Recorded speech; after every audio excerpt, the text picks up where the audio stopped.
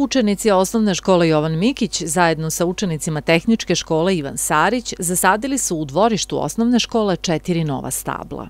U pitanju su dva stabla lipe i dva stabla javora koje je tehnička škola poklonila osnovne školi Jovan Mikić.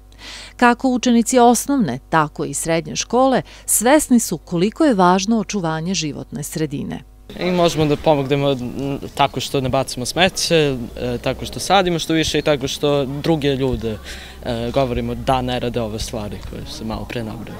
Škola je donirala novac da se ta drva zasade.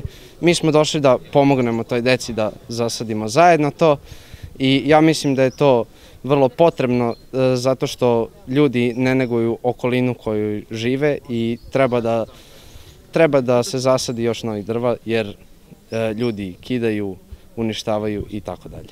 Osnovna škola Jovan Mikić na razne načine i kroz razne programe bavi se očuvanjem životne sredine, istakla je direktorka ove obrazovne ustanove. Ne samo kroz teorijsku nastavu, nego i kroz praktične primere, deca i nastavnici rade na očuvanju životne sredine. Pre svega e, su to nastavni planovi i u nižim razredima iz prirode i društva, zatim iz biologije. Sem toga mi se uključujemo u sve projekte koji su nam na tu temu ovaj, dostupni.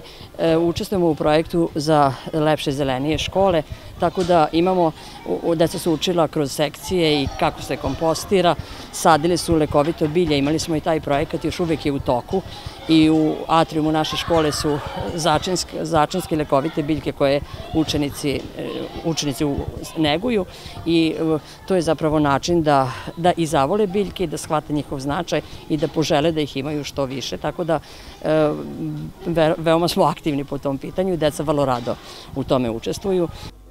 Akcija Sadnje drveća bila je organizovana u okviru obeležavanja Dečije nedelje, čija je tema danas bila posvećena očuvanju životne sredine. Ovo je jedan lep način, jedan lep gest ne samo srednjih škola prema osnovnim školama, nego jedan dobar način da, deci, da podignemo malo ekološku svest dece, da ih malo naučimo šta znači zaštita životne sredine, e, da se deca malo bolje ophode prema životnoj sredini, jer to će svakako uticati na kvalitetni život svih nas, a ujedno je i prilika da deca u, školi, u ovoj školi i, i, i u školi Sonja Marinković, dakle na ovaj način imaju jedno kvalitetnije, humanije i bogatije okruženje. Sutrašnji dan u okviru manifestacije biće posvećen obrazovanju kroz posetu učenika muzičkoj školi i dečijem pozorištu.